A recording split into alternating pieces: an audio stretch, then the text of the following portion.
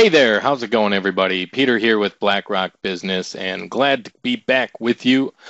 Another fine winter day here in Minnesota. It's actually been negative 30 this week, which is really crazy. Uh, kids were home from school three days out of the week. I mean, just nuts. But that's why I have more time to make videos. Today, we are going to talk about creating vendors in your QuickBooks point of sale. It's going to be relatively easy. Uh, there's just going to be a few fields to pay attention to that are kind of important. Don't forget to head on over to blackrockbusiness.com where we've got all of your answers, tutorials, videos, hardware needs, whatever. Whatever you need as far as QuickBooks and point of sale, go on over to blackrockbusiness.com. All right, let's get into this. Uh, here we are in the point of sale. Uh, here's your main screen, and you will notice we have the vendor list icon right here. You can create a vendor on the vendor list. You can also create a vendor while creating a receiving voucher. Uh, so, or purchase order, excuse me, either one of these. Let's get into it. Vendor list up here in the right hand corner, I'm going to hit add. And here's our adding a vendor screen. Uh, I'm just going to throw in ABC company if you didn't know it, uh, vendors are who you are actually going to order your product from for your store. And QuickBooks Point of Sale has a really slick system with vendors. Uh, it's not just that we need vendors in here so that we know where your products came from, uh, but you can actually create a purchase order and send it out to a vendor right inside your point of sale using the information that you put in here. So for ABC Company, uh, vendor code much like your department code, is just going to be a short, quick code to identify the vendor by. It's just a little faster and easier, and you can also put that on things like price tags and other reports. So we got ABC Company, and you're probably going to put your sales rep info in here. We got uh, Bob Johnson, of course. And this is really important. You want to get your reps email. Uh, if you want to send a purchase order automatically through uh, the point of sale and make it head out through your email, uh, it'll automatically create the document with all the things that you're trying to order and it will send it to Bob Johnson.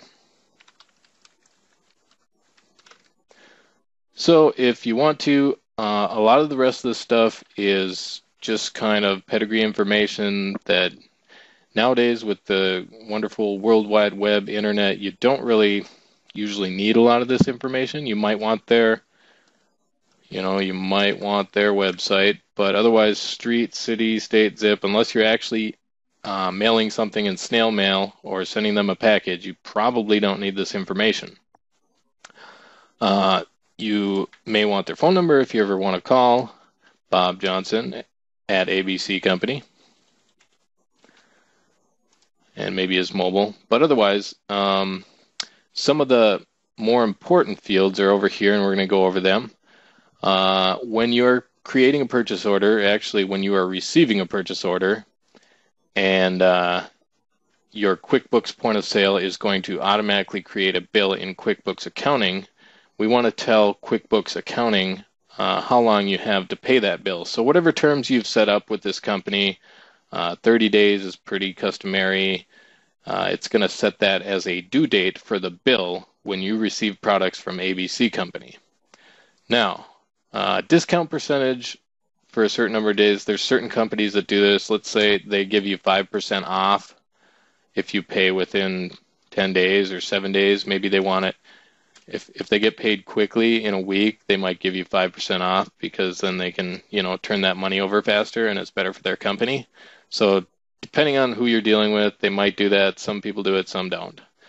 Now, account number is pretty important because when you send this purchase over purchase order over to Bob, uh, he's going to look at the top of the purchase order and see your account number so that he can bring you up on his end.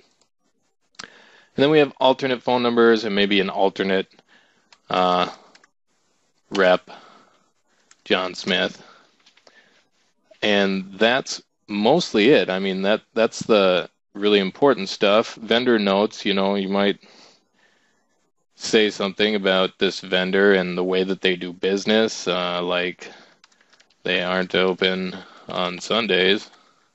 any kind of little information or note you want on your vendor, go ahead and put there. The history pane right here, that's going to come in later. I'm, I'm going to skip over to a real vendor here and we'll show you. So uh, I'm going to save ABC Company, and there we have it. Now they are available to attach to items. They're also available to create purchase orders under. And if you email that purchase order, it'll go to this email address. Pretty awesome. Uh, let's choose uh, one of these vendors that has already been running for a while. So in this case, I look at the details and I can actually look at the history here. This looks like there's only one receiving voucher under this one. How about this one? One receiving voucher under this one. All right, so here's one that actually has some more extensive history. Multiple receiving vouchers and orders have been received from Zenana, whoever that is. And so that's what the history pane is for. That's pretty much it. Thank you for coming along on this video and learning how to create a vendor. We will go over other tasks with vendors, such as ordering with purchase orders and receiving, and uh, a few other things that you can do with vendors that are a little more complicated in another video. My name's Peter, and this is BlackRock Business. Thanks for coming along.